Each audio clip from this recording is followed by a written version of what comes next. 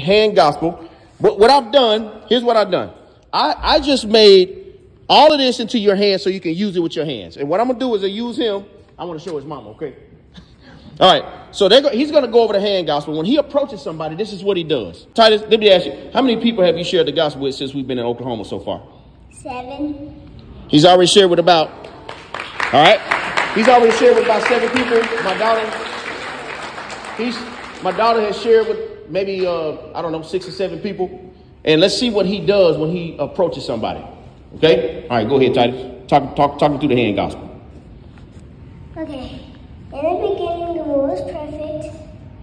Adam and Eve was living together until they chose to be number one.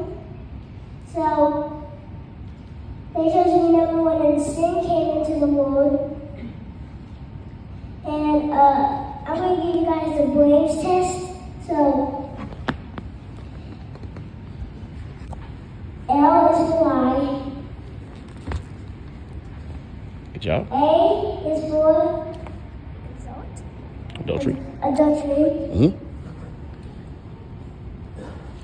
Yum. Yum. N is for murder. Mm-hmm. And S is for? S is for steal. Mm-hmm. Yep. Good job. And so, and then God is the highest.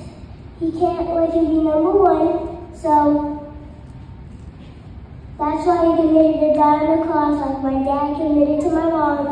So, so he's high, God high and holy, and you must look small. Humble yourself and look small in your eyes and in God's eyes, and repent and turn to Jesus. Good job, buddy. Good job. Good job.